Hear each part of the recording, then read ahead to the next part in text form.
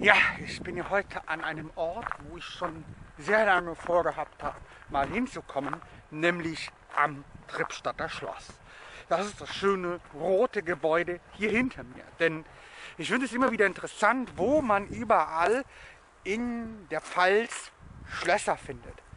Und ich habe auch nur neulich mal per Zufall herausgefunden, dass es hier in Trippstadt ein Schloss gibt. Und seitdem habe ich halt vor, mal hier hinzukommen und hier ein Video drüber zu machen, weil ich einfach finde, dass das ein schönes Reiseziel ist. Und deswegen sind wir jetzt hier. Und ich werde euch auch ein bisschen zur Geschichte des Schlosses erzählen, denn die ist auch relativ interessant.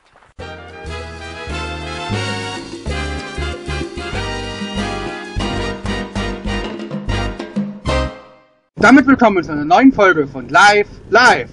Im Schloss befindet sich seit 1987 die Landesforstliche Versuchsanstalt von Rheinland-Pfalz. Aber das Gebäude selbst ist fast 300 Jahre alt, denn es entstand Ende des 18. Jahrhunderts quasi als Jagdschloss des Obrist-Jägermeisters Karl Josef von Hackel der das Schloss zusammen mit seiner Frau Amöna Marie Charlotte Sturmfeder von Oppenweiler errichtete.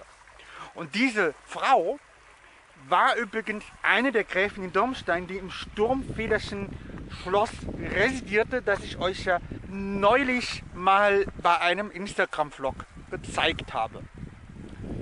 Ich werde mal schauen, ob ich vielleicht das von Instagram einfach hier verlinke. Das müsste ja eigentlich funktionieren. Das Schlossgebäude selbst ist 48 Meter lang, 19 Meter breit und 18 Meter hoch. Und dadurch hat es eine sehr eigenartige, imposante Form, die mir persönlich sehr gut gefällt. Und ich bin mal wieder an einer Stelle, wo ich sagen muss, meine Erwartungen wurden buchstäblich übertroffen.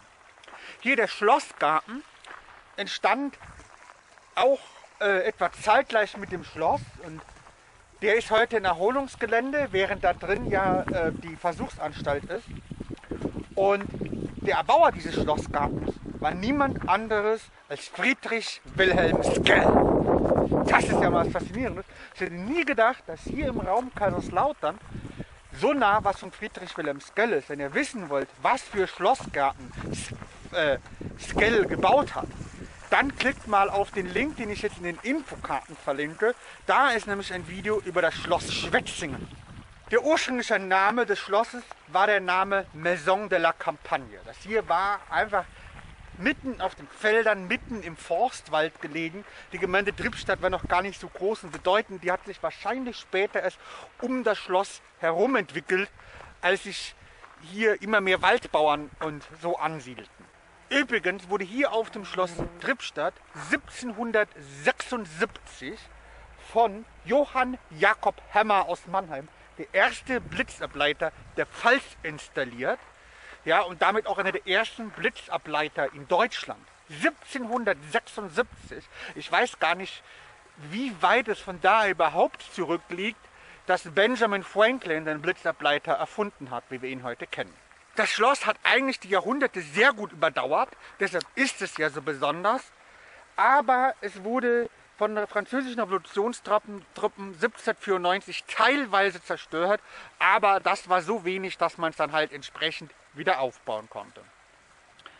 Dann 1803 fiel das Schloss erstmal in elsässischen Besitz und wurde 1833 durch Kauf eben an Reichsrat Ludwig von Girnand abgegeben.